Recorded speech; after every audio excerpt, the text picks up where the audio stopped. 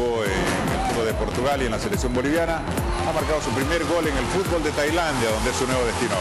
Ahí está el gol de Divaldo Rojas Hermosa. Su nuevo equipo es el Muangthong United, uno de los equipos más poderosos de la liga de Tailandia. Este gol se convirtió en un partido por la copa de aquel país.